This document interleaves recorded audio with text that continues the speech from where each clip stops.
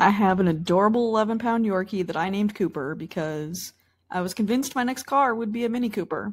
And now I drive a Jeep, so he's the only Mini Cooper I have.